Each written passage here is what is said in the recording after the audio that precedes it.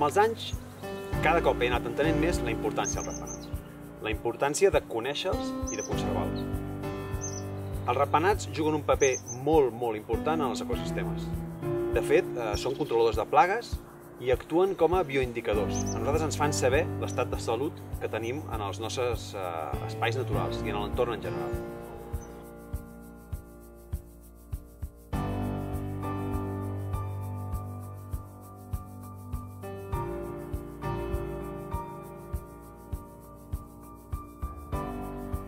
Quan vaig començar anava sol, eh, era dur i ara anem amb un equip de gent, ens hem convertit en un equip professional, eh, fins i tot eh, els parcs naturals ens encarreguen feines i tenim mecenatges, mecenatges d'empreses que creuen en el nostre projecte. Per tant, al final el que sento és un orgull de, de la tasca que hem fet.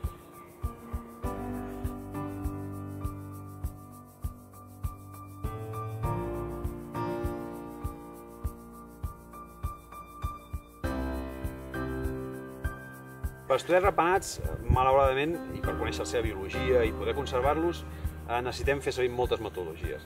Eh, per exemple, necessitem capturar-los amb, amb paranys d'arpa, amb xarxes, però també necessitem anar a refugis, a mirar les colònies, les poblacions.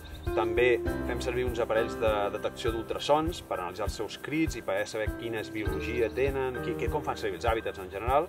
I tot això s'ha de fer doncs, d'una doncs, forma professional i, i molt emotiva. La nostra gent necessita eh, realment estar molt, eh, molt vinculat amb el projecte per poder treballar amb aquesta feina. El 1999 vam crear l'àrea d'investigació de quiròpters, aquesta àrea ja porta més de 300 projectes dirigits a la conservació dels ratpenats i a conèixer com són els ratpenats. Però no és això l'únic que busquem. Busquem traspassar aquesta informació, comunicar-la al públic en general, i això ho fem mitjançant la nit dels ratpenats.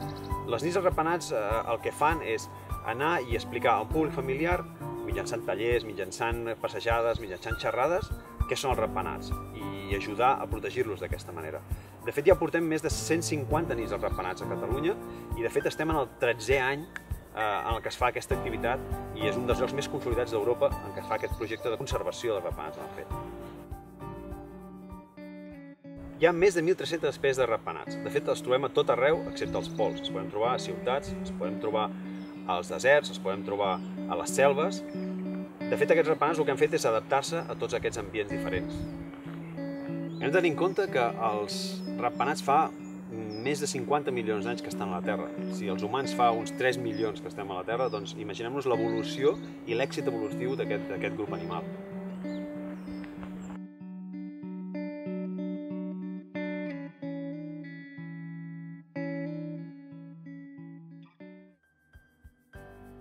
Els ratpenats no són vampirs. És veritat que hi ha tres espècies de rapàs que mengen sang, que s'alimenten de sang i que estan a Amèrica, però la gran majoria estan adaptats a menjar de tot, mengen polen, mengen fruita i sobretot mengen insectes. De fet, la majoria que tenim a Europa s'alimenten bàsicament i exclusivament d'insectes.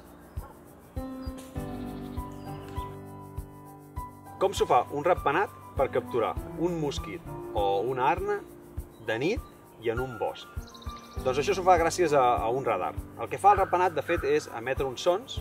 Aquests sons topen amb els obstacles i retornen. Aquest retorn el capten per les orelles i es fan una imatge del seu entorn. Els ratpenats així poden adaptar-se a aquesta circumstància tan complexa.